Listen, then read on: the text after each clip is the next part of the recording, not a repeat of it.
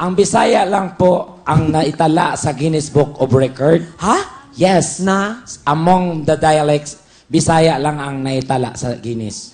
Ano?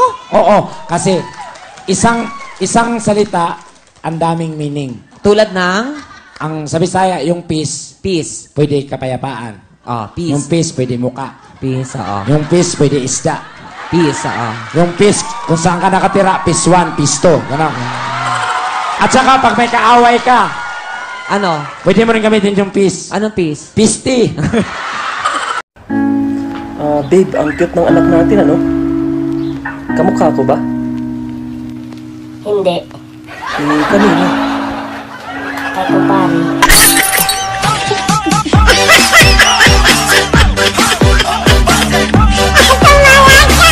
Pwede ko po bang ligawan ng anak nyo?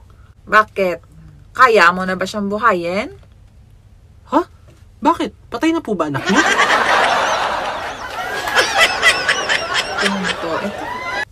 My question is simple cut or uncut?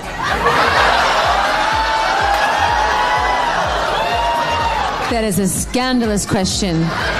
I refuse to answer it. Are you talking about my sandwiches? I like my sandwiches cut. Ilang beses ka na niyang tinanggal sa buhay niya, pero bumabalik at bumabalik ka pa rin. What? Ano ka, libag?